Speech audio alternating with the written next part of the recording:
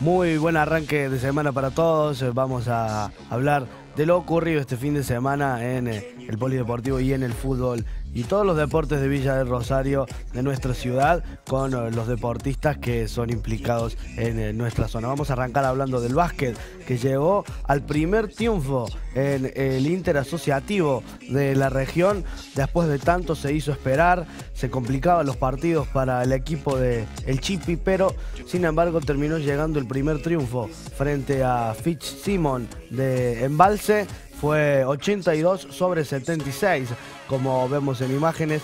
Ese es el término del partido después eh, de ganar los muchachos frente a Fitzsimon.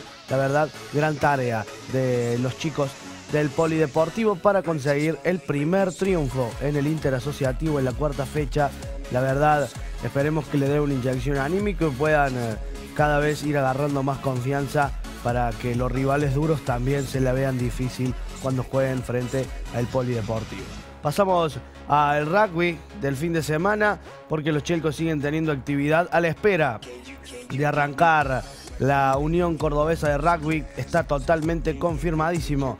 Los Chelcos este año van a jugar en el desarrollo B de la Unión Cordobesa de Rugby. Este fin de semana jugaron un amistoso con eh, la UTN Rugby, eh, la Universidad Técnica Nacional. Perdieron 39 a 17 con 4 tries, 3 convicciones y un penal para la UTN tres try y una conversión sumó el equipo de Villa del Rosario que se sigue preparando para eh, lo que vendrá eh, dentro de unos meses nomás cuando arranque la Unión Cordobesa de Rugby. Y en el volei perdió tres tantos contra uno en Pilar el eh, día sábado por la tarde frente a Pilar Sport Club. Cayó derrotado 3 a 1 la primera femenina que fueron las encargadas de jugar este fin de semana fue derrota para la primera femenina, no pudo ganar el tricolor su debut en su primer partido en la primera femenina. En el hockey hubo actividad el día viernes por la tarde, se van preparando las chicas de Promesas del Norte y del Polideportivo para jugar la Liga del Este Cordobés de hockey. También jugarán un Super 8 las chicas del tricolor del Polideportivo en el hockey. En juveniles, eh, Promesa se quedó con el clásico en el primer partido, dos tantos contra uno.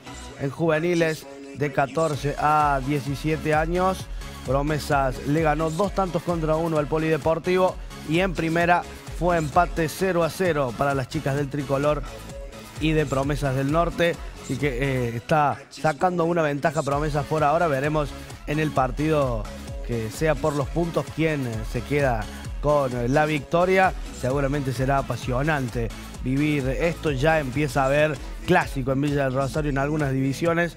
Es lo más lindo, lo más importante que esto se vuelva a generar para que el sentido de pertenencia de los ciudadanos eh, se indique hacia algún lado, que la gente se haga hincha del poli o de promesas del norte. Por último, para terminar, vamos a hablar del fútbol, que hubo mucha actividad y estuvimos ahí la tarde del día sábado con las inferiores del Polideportivo. Jugó la octava y cayó derrotada. La séptima, cero eh, para el Polideportivo, uno para Newell de Laguna Larga. Gran triunfo en la séptima para los dirigidos de La Gota Obregón. En sexta división fue 4 a 0 el Polideportivo sobre Newells. En quinta división, 9 a 0 ganó el Polideportivo sobre Newells. La verdad que hasta ahora no ha tenido muchos rivales. La quinta anda muy bien con Autorio Arola, está lesionado también Agostino Tonucci, pero jugadores muy importantes. Eh, está también eh, Magallán, el enganche del, polideportivo que anda muy bien. Así que la quinta todavía no ha tenido un rival eh, descollante. creo que va, va camino a andar muy bien. En cuarta división fue empate. 1 a 1 lo ganaba bien el poli. Tranquilamente 1 a 0 y se lo empataron sobre el final. Ayer, ayer en una tarde hermosa de fútbol, en la cancha del Polideportivo. Recibía a Flor del Ceibo.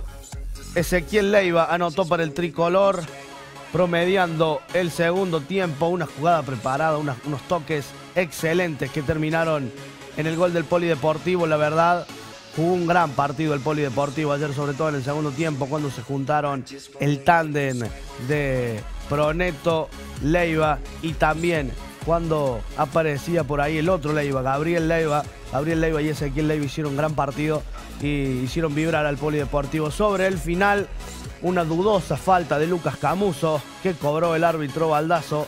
Eh, para mí entender equivocado, no había penal frente a Julio Santillán, pero eh, se tira desde atrás Lucas, llega tarde a la pelota, eh, se puede interpretar que llega tarde, él mismo dijo que no, y bueno, Baldazo viéndolo desde atrás, compró la situación, le creyó a Julio Santillán y sancionó penal para Flor de Seibo.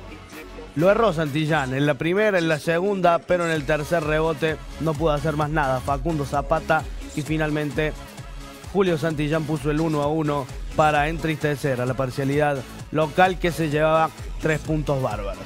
Eh, este ha sido el resumen de esta semana. Esperemos que les haya gustado y tengan una hermosa semana todos.